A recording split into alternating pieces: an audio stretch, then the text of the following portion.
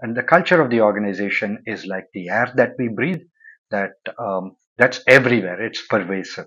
So um, i think the the uh, as we go forward with the business some of the things that we are trying to do is to build an appreciative culture where everybody gets appreciated uh, when they do the right thing but also a performance oriented culture where you know what metrics what you have to do and an agile culture where you're working together to get to an outcome so that's one aspect which is internal in terms of uh, uh, rewarding culture, in terms of performance culture, uh, in terms of uh, uh, carrying culture, etc.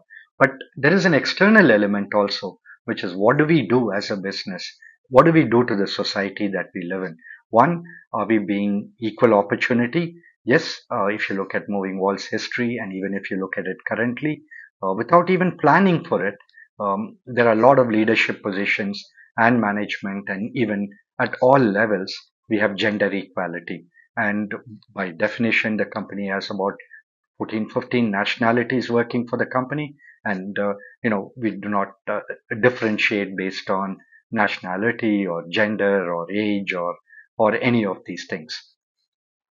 Uh, where we need to improve yes there are areas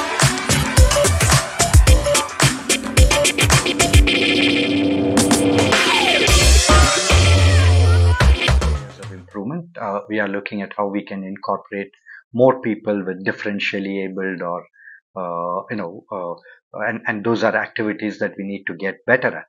So that's one part of it. The other part of it is also the real society that we live in, which kind of led to the creation of uh, Moving Hearts. Moving Hearts is something that we created about a year ago, and one of the first initiatives that we did was to say that hey, we have uh, 500,000 digital screens on the platform we know when the inventory is expiring. We have the ability to convert that um, and, and uh, into meaningful things for organizations that are looking for this uh, media.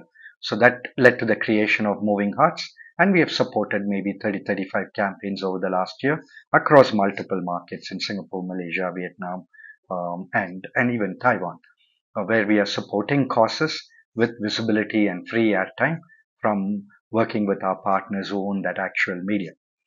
Um, now that led to a thought to say what else can we do? And obviously environment ESG is becoming a very powerful uh, requirement in today's world in today's business. So we are looking at how can we use uh, how can we be more environmentally friendly? How can we go into net zero carbon products